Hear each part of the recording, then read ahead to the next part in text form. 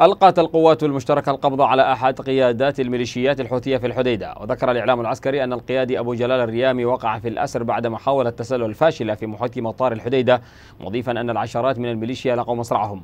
وكانت مصادر عسكرية أكدت أن قوات المقاومة المشتركة أحبطت محاولة تسلل للميليشيات الحوثية الإرهابية شرق مديرية حيس سقط خلالها العشرات من عناصرها بين صريع وجريح.